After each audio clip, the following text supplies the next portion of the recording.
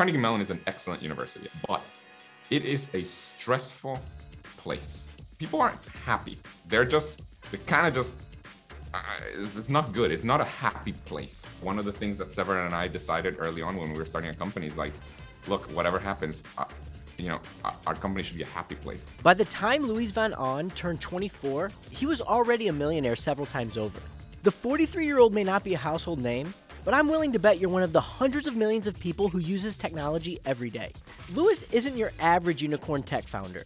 He actually pays his drivers to give feedback on their interactions with potential executive level hires on their way to and from the airport to weed out toxic personalities. All right, Luis, thank you so much for taking some time out. I appreciate it. Yeah, of course. There are three numbers to look out for in Luis's story 42,000, the amount he made each week digitizing copies of the New York Times, 183 million, the total amount of outside investment he raised, and 6.5 billion, the total valuation after Duolingo went public in June 2021. Here's how Luis Ahn built Duolingo, one of the most popular educational apps in the world, while managing to keep it free for almost everyone who uses it. For CNBC Make It, I'm Nate Skid. This is Founder Effect. Luis grew up far from the Ivy Leagues in Guatemala.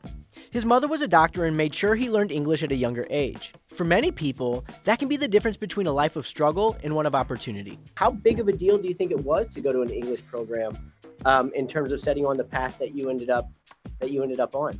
I think it was a huge deal. In, in Guatemala, for example, you could probably double your income potential by just the fact that you know English. Like you don't have to need it, know anything else. There were two formative moments in Luis's young life. The first was witnessing the tension in his family's candy business between the owners and their workers. Different people in my family would, uh, you know, a lot of times just have this vision that it's like kind of us versus them. The second was a visit from a recruiter from Duke University who was scouring Central America for undiscovered academic talent. And she essentially kind of uh, she didn't quite fill out the application for me, but she almost filled out the application for me. And in 1996, Luis moved to the United States to attend Duke University with no money to his name. Yet he still managed to graduate at the top of his class with the goal of becoming a math professor. But that dream didn't last long. I realized that all the professors that were in math were doing research on problems that hadn't been solved for 500 years or whatever. Luis wanted to spend his time and energy tackling new challenges. In 2000, he was accepted to a computer science PhD program at Carnegie Mellon, but it didn't take long for him to develop a knack for creating profitable businesses. In 2003, he created a simple game pairing two players and showed them each the same image. If their descriptions matched, they moved on to the next one. What they were doing is basically just telling Google what's in these images. Um, and so that, that that really you know kind of improved image search etc luis says google bought the game in 2003 for a couple million dollars. In 2006 luis landed on his next big idea after listening to a talk by yahoo's chief scientist. The problem was that spammers were writing code to steal millions of email addresses and flood those inboxes with junk mail Luis's answer was called it's this thing called a captcha, which is these distorted characters that you have to type, um, uh, you know, all, all, over the internet whenever you're buying tickets on Ticketmaster or uh, whatever. You just, you know, you get this image of messed up characters. Um, so we came up with that. that. That was our idea. About 200 million people take 10 seconds out of their day to fill out a captcha. And while some would sit in amazement at their impact on humanity, Luis suffered from pangs of guilt which led to his next big idea. And so if you multiply 10 seconds by 200 million, I started thinking, okay, that's that turns out to be 500,000 hours every day. I started thinking, okay, can we can we make good use of these 500,000 hours? Gave to this uh, to this kind of next project, which was called reCAPTCHA. So it's just it's like a, a, redoing of CAPTCHA, um, where the idea was that as people were going to they were typing these, um, uh, you know, over the internet, not only would they be authenticating themselves as a human, but they would helping us to digitize books. Word of the new tech reached the New York Times, which was in the process of digitizing about 150 years worth of old newspapers. Luis charged the Times $42,000 for every year of content he digitized. We could digitize an entire year of content in about a week. Um, so pretty quickly we started getting checks for 42,000 bucks, like, you know, about one a week. Luis founded reCAPTCHA in 2006 and sold it to Google in 2009 for an undisclosed sum, but he said it was in the tens of millions of dollars. In 2006, Luis was awarded the MacArthur Fellowship, also known as the Genius Grant, that came with $500,000 and no strings attached. It's not like you apply for it or anything. Just one day you get a phone call um, and they just ask if you know, Fortunately, I picked up the phone because you know nowadays if I get a random phone call, I do not pick up the phone. So, what did you do with the five hundred thousand dollars?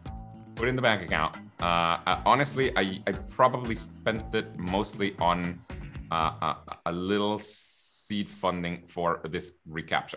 So, um, where did the aha moment for a, a, a language service come about? Where did this happen?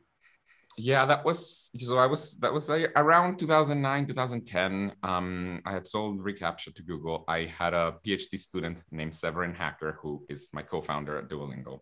Uh, at the time we hadn't started anything. One of the insights was you know computers are getting much smarter and we could make it so that computers really could teach everybody as opposed to teachers having to teach everybody. That was kind of the idea.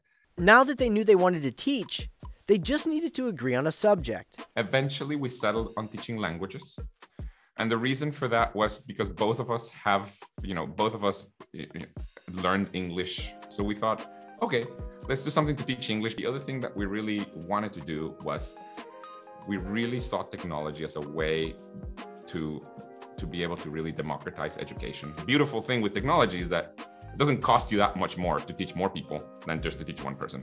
Um, so we thought okay well we teach everybody and and we could teach them for free. And just like that duolingo was born well, sort of. So, um, how do you come up with the name Duolingo? We looked at a lot of names. One of the ones um, was F L O O N T, which should sound kind of like fluent, but it more sounded like fluent. And then, you know, my friend said, "Oh, that sounds like I fluented all over the floor. Like it's like not good." Um, so we had we had a bunch of names. Eventually, we came up with not Duolingo but Monolingo, and and it, that sounded like a like an illness, like you have monolingo. And at some point, it just Duolingo made a lot of sense. Now that they had a name and a mascot, it was time to turn their idea into a business. Instead of applying for a grant through Carnegie Mellon, in 2012, Luis reached out to Union Square investors and secured $3 million in seed funding. They had just invested in like Twitter and Tumblr, and they were like the biggest thing out there, and Foursquare was also the biggest thing out there. And so Union Square Ventures was like, oh my God, like amazing. Okay, so um, can you tell me the amount that Series A from Union Square was? Yeah, I mean, one thing that is important to mention is Series A back then, this is the year 2012, were very different than Series A's today, which today is just massive. So in 2012, a very nice Series A that you were happy with was $3 million. $3 million. Today, that's not even called a Series A. Today it's like seed funding. Around that time, Luis gave a TED talk and at the end, he made mention of this really cool new application focusing on language that he was working on. Well, that talk went viral, and soon, Duolingo, which at the time was just a landing page with a place to put an email address, had a waiting list with over 300,000 names on it. At the time, the other thing that was going on at the time was uh, there wasn't really a good way to learn a language on the computer. I mean, the, the thing that there was was Rosetta Stone, and it was like super expensive. It was like a thousand bucks. And so there was this thing that just said you can learn a language here and it's entirely for free. And so a lot of people were like, yeah, sure, I'll, I'll give you my um, my email. Um, and so you know that that worked out pretty well. The instantaneous interest in Duolingo and his proven track record helped Luis raise even more capital, 183 million in all.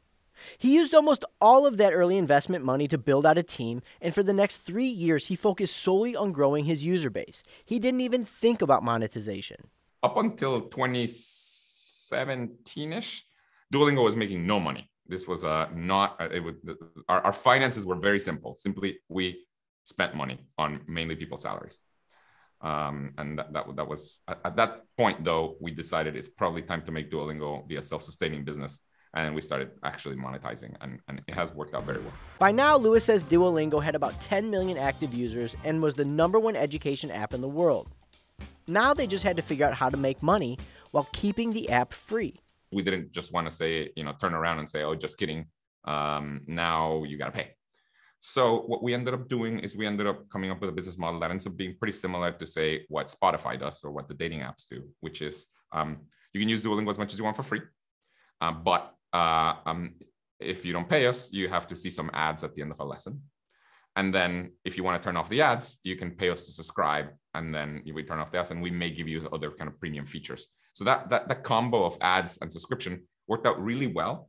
Um, and so we ended up making a, you know, it's every year since then we've made more and more money. A full 94% of Duolingo's active monthly users opt for the free version, which includes some ads. But the company makes most of its revenue from the other 6% of its users who are paying subscribers. From 6% of our users give us the majority of our money by now.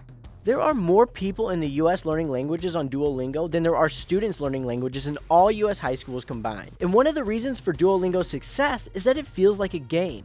In fact, the app keeps track of how many consecutive days a user logs in. Skip a day, and it goes to zero. We have over by, by now, I mean, we haven't quite released the, the, the figure, but uh, we have released this one, which is we have over a million daily active users who have a streak longer than 365. So we have so more than a, they haven't missed a single day in the last year. What day did you IPO? What was it like for you personally? Were you nervous? Do you remember the moment? It was extremely exciting. It was a big milestone for the company and, and for everybody who has been working on this. I mean, Duolingo has really good employee retention, as in like people really rarely leave Duolingo. So most of the original team is still here. And so there's been all these people that have been at this for, you know, the last, I don't know, eight, nine years. Um, so it was, it was pretty transformative. What happened to the share price? Our share price was $102. Um, it went, it, it, it, went really high. I mean, uh, uh, the first trade was 140 some i don't know maybe 141 or something like that. Some i don't know the exact number but it's uh, around 140 and then it just kept going up etc you don't know? I, like that would be like plastered on my wall is like a big memory. You know share price is um I'm, I, I i was told by a lot of ceos of publicly traded companies not to pay too much attention to share price and i've been doing that and it's actually really good feedback. Here's basically what ha- your share price moves randomly with like basically no connection to what's going on with the company. What was the biggest money mistake you've made along the way with Duolingo? I don't feel bad about anything we've done. By the time we, we went public, we still had a hundred and some million dollars in the bank account, meaning we had only really spent 80 million. Uh, of course, we had been making some revenue the last few years, etc. But basically, we could have raised a lot less money. Uh, and by raising a lot less money, uh, you know, I think um, us employees, me and the rest of the employees would have owned a larger fraction of the company.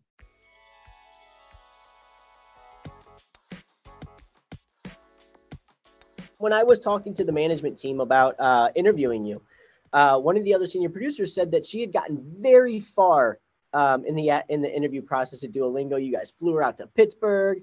You mm-hmm. put her up, and she said that even though she didn't get the position, the culture and the vibe at Duolingo stayed with her. And she was like, Nate, you have to ask about that culture.